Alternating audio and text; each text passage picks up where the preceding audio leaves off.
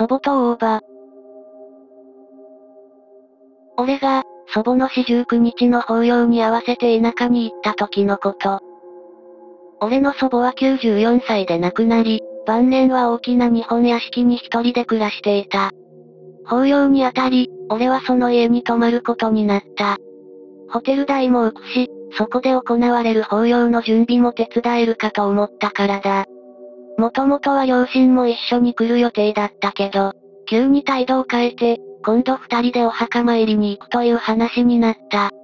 結局俺一人で祖母の家を訪れることになったわけだ。遠いところからよく来たね。さあ上がって上がって。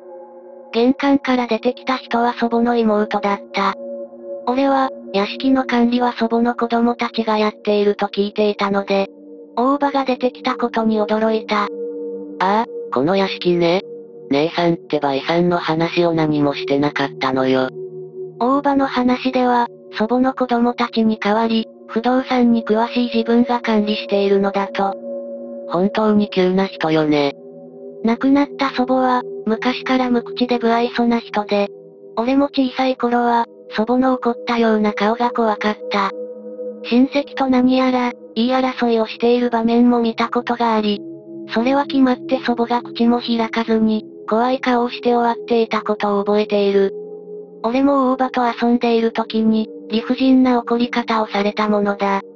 そんな大場は、祖母よりも歳がだいぶ下だが、本当に祖母の妹かと思ってしまうほどいつもニコニコしている人で、体格はちょっと小太りな、どこにでもいる普通のおばちゃんだ。しかも話も上手で知識も豊富。どんなことでも本当に頼りになるような人だった。俺はそんな大場が家にいることに驚きつつも、その家に泊まることにした。大場は、その辺りの地域では地主として有名だ。でも、大場はそれを鼻にかけることなく、いつもニコニコしている優しい人だった。大場には夫も子供もいない。その分、昔から俺のことを目いっぱい可愛がってくれた。明日は忙しくなるからね。若い子の体力、頼りにしてるわよ。明るい笑顔で大場は俺の背中を叩いてきた。夜も更けて、俺は寝室に布団を敷き、次の日に備えて床に着くことにした。だが、俺がその夜、恐ろしい体験をすることになる。俺が布団で寝ていると、遠くから何やら音が聞こえてきた。キー、キー。廊下のきしむ音で俺は目を覚まし、続いてズズズっと襖が開く音が聞こえた。最初は大場がトイレに起きたのだろうかと思ったが、その足音はトイレの方には向かわなかった。来た、来た、と廊下を歩く音がする。音が縁側へと向かうと、急に窓ガラスがガタガタガタっと震え出した。その音に驚いて眠気が吹き飛んだ。人間の気配はしなかった。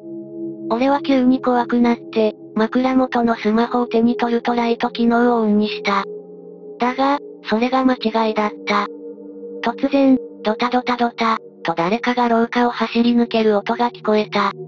ひー、と俺が情けない声を漏らすと、足音が一瞬止まり、そしてまた、こちらに向かってドタドタドタ、と迫ってきた。その瞬間、俺は障子の向こうで黒い人影が横切るのを見た。すると、人影は障子の前を通り過ぎると足を止め、また振り返っては俺の部屋まで戻ってきた。俺がつけていたライトが目印になったと思う。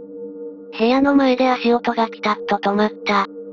障子に、足を止めた真っ暗な人の輪郭が映っている。顔が横に向いているように見えたが、その顔がゆっくりとこっちを向いた。もうこの時点で、俺は恐怖でおかしくなってしまいそうだったが、黒い人影は何やらボソボソと呟いていた。俺の名前を呼んでいた。それに気づいた瞬間、俺は大場のいる部屋まで駆け出して必死に助けを求めた。大場は眠たい目をこすって部屋までついてきてくれたが、もうそこには誰もいなかった。きっと昨日の疲れが出たのよ。今日の法要が終わったらゆっくりするといいわ。準備もなるべく私がやるようにするから。大場に優しく慰められて、俺は明るい部屋の隅でじっと座っていた。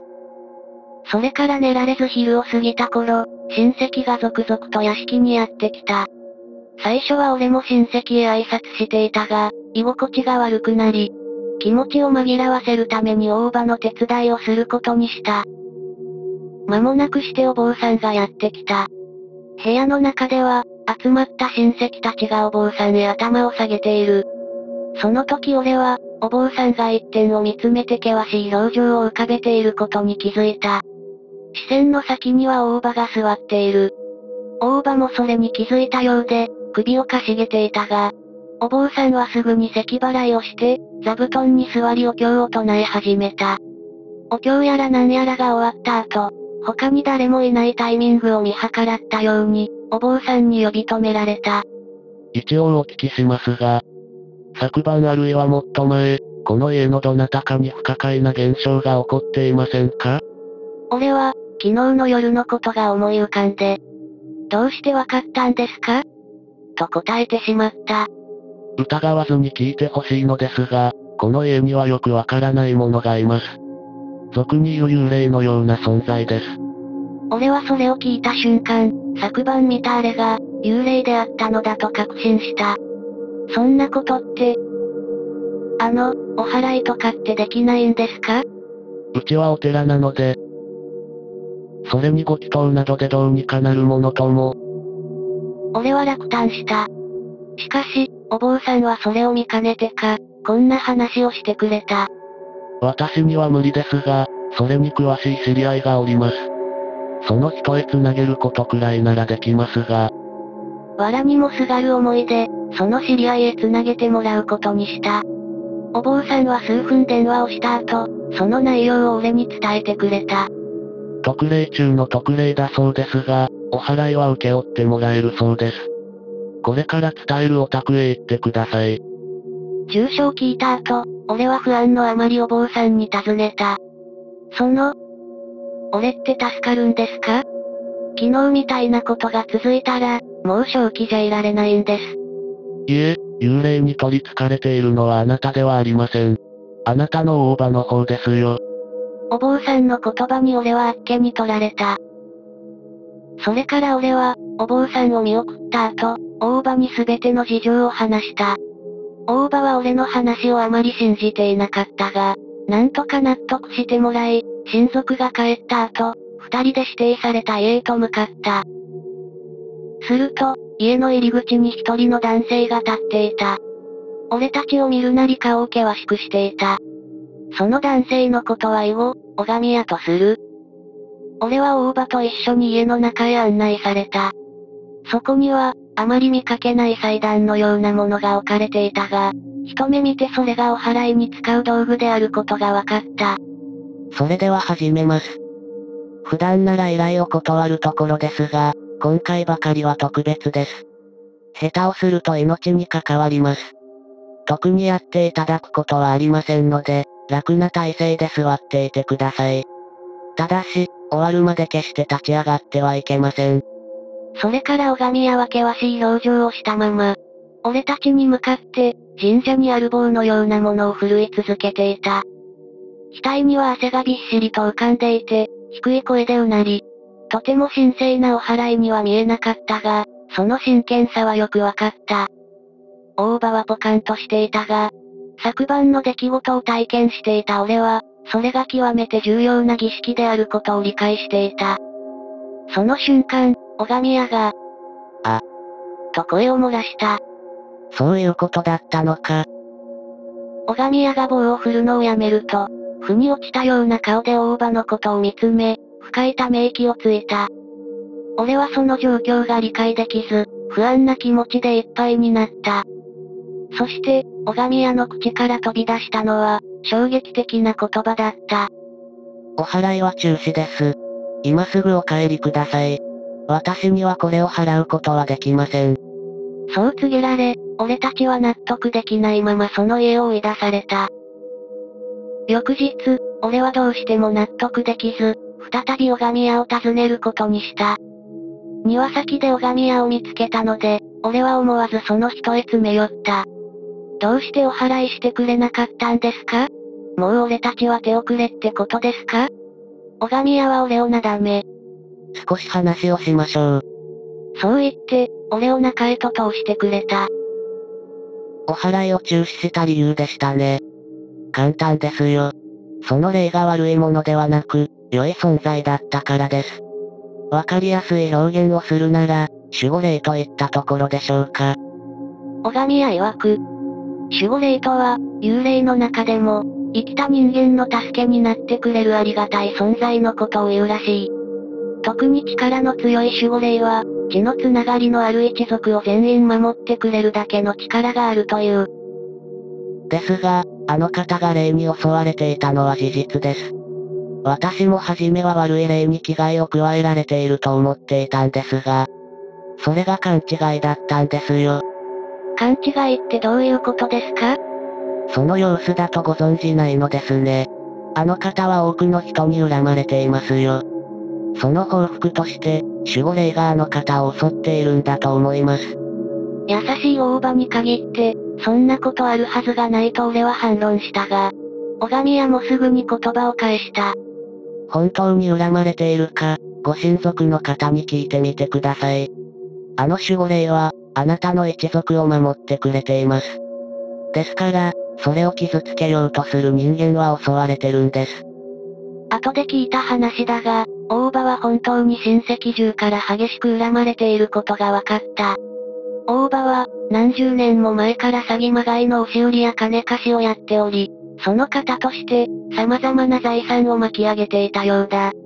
大場が地主として有名になったのも、親戚中から土地を奪っていった結果だったらしい。あの霊は悪いものではありません。ですから私には、あの守護霊を止める資格はないんです。むしろあれを払ってしまえば、私もその悪事に手を貸すようなものですよ。俺はその事実を受け入れられなかった。とはいえ、守護霊が生きた人間を襲うこと自体が極めて稀なことです。ただ、この守護霊はどうやら、もともと悪霊のようでしてね。なので、他の守護霊よりも攻撃性が高いです。きっと、誰かがその悪霊を守護霊に変えたんでしょうね。小神谷さんの説明を受け入れるしかなかった俺は、先ほどの失礼を誤ってから屋敷に戻り、大場に事実を確認することもなく、その町を出ていくことにした。そして、大場にとっての地獄は、それから始まった。まず最初に、数年前から関係を持ち、事実的に婚約関係にあった男性とその息子が相次いで亡くなった。その後、祖母の遺産を整理している際、大場の悪事が法律に違反していることが判明した。しまいには、大場本人が重い病気を患ってしまった。その病気は奇妙なものであり、大場は全身に潰瘍ができる症状に見舞われていた。大場を見た親族は、全身がまるで皮膚をえぐり取られたくぼみばかりになっていた。と語っていた。そして昨年、大場は一向に回復することはなく、全身を海洋に埋め尽くされ、傷口から入った感染症が原因で最後まで苦しみもがいて亡くなった。大場が亡くなった後、親族の間からは大場への不満があちこちから湧いていた。所詮はもらわれてきた他人の子。あいつにとって私たちはどうでもいい存在だったのよ。ある親戚はそう語っていた。俺はそこで初めて、大場が祖母の実の妹ではなく、養子としてこの家に迎えられた子であったことを知った。それを聞いて、あることに合点がいった。小神谷曰く、力の強い守護霊は、血の繋がった一族を守ってくれるらしい。なら、守護霊にとって大場は、ただの他人にしか見えなかったと思う。この話を両親に聞いてみると、こんな返事が返ってきた。あいつが嫌われてたのは本当よ。どうせあいつはあんたの優しさにつけ込んで、私たちからもお金をむしり取ろうとしてたのよ。あんたが小さい頃だってそうだった。両親は大場を警戒しており、法要に顔を出さなかったらしい。そして、それから俺は、亡くなった祖母についても話を聞くことができた。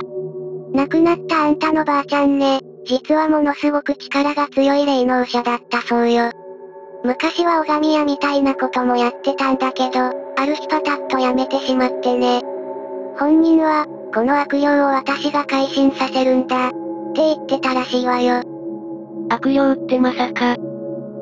なんかその悪霊ってのを自分に取り付かせたって言ってたわ。長い時間をかけて浄化して、その悪霊を守護霊に変えてやるんだって言ってたわ。でも、ボケた年寄りの話だから、真に受けない方がいいわよ。俺はあの守護霊がもともと、祖母の守護霊だったのだと思った。だから、親族を傷つける大場が気に入らなかったし、自分の死後、守護霊に任せて大場に報いを受けさせたのだろうと思った。祖母が自分の妹のことを本当はどう思っていたのかはわからないが、きっとそれよりも、自分の身内のことを守ってあげたかったのだろうと思った。それから大場の一周期、祖母の三回忌が重なったことで、俺は再びあの町を訪れていた。お経をあげてくれたのはあの時のお坊さんで、その人とちょっとした話をする場面もあった。法事の後にはあの拝み屋にも会いに行った。大場と守護霊のことを拝み屋に伝えると、逆にこんなことを教えてくれた。言っていいのかわかりませんが、あなたの大場の霊はまだこの世にいるみたいですよ。守護霊に捕まって、めった打ちにされてるみたいです。あれはきっと、地獄に落ちた方が楽と思えるくらい苦しいものでしょうね。祖母が亡くなってからは、親戚中から祖母の話がたくさん出てきた。不愛想な人だったけど、何かを相談したら必ず解決してくれる人だった。とか。無口でも、私たちのことをしっかりと考えてくれて準備を怠らない人だった。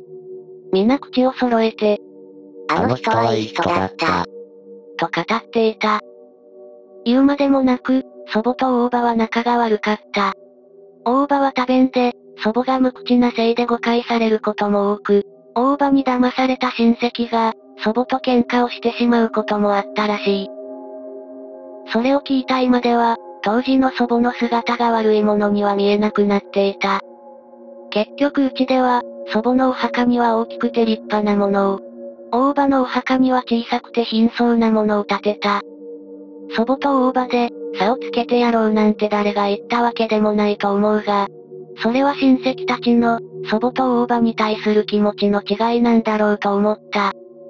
祖母のお墓には、後に両親もお墓参りをして、初盆の時には大きな花火が挙げられた。地域色の強いお盆だったが、きっと祖母も喜んでくれたに違いない。